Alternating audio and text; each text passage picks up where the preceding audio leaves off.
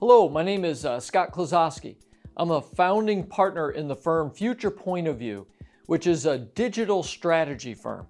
And the reason that might be important to you is I'm going to be one of your keynote speakers at your annual convention on April 26th in Orlando, Florida. Now, I'm going to be covering a couple different topics.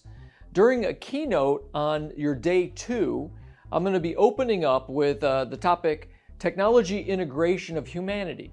And I'm going to be covering the integration of humans and technology to be able to get processes and systems done, and then looking at kind of the impacts of this inside of our organizations, but also in our lives. I mean, what does it mean to our kids and grandkids, to our relationships of this technology integration of humanity? Now, this will be a very thought leading talk where I'll be going over some concepts that maybe you've never heard before. Now, when that's done later in the day, I'll also be doing a breakout session that's a little bit more tactical. In that session, I'm going to be talking about digital maturity and a focus on data activation. Now, I will be explaining what are the different dimensions of digital maturity.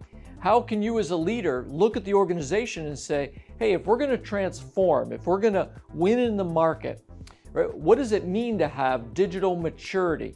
I will give you what all the different pillars, the dimensions of maturity are. And of course, one that I'm going to focus on as an example will be data activation. And how can your organization mature what it's doing around data activation? I'm really excited to go over both of these topics with you.